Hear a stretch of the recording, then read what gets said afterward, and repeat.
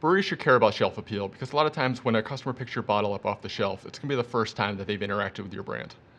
So if done properly, that one label can portray your history, your personality, and your level of craftsmanship.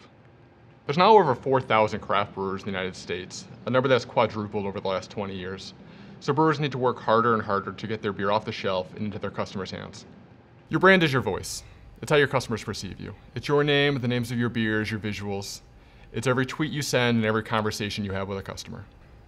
All beer labels are subject to TTB approval, so you're going to want to make sure that you and your designer go over these regulations. These requirements range from certain font sizes to imagery, which you can or can't use, such as the American flag or a heart because the heart implies that the beer might be good for you, or you can't put a cheeseburger on the label unless there's actual burger in your beer. To find out more about craft beer label design, visit Avery Dennison online.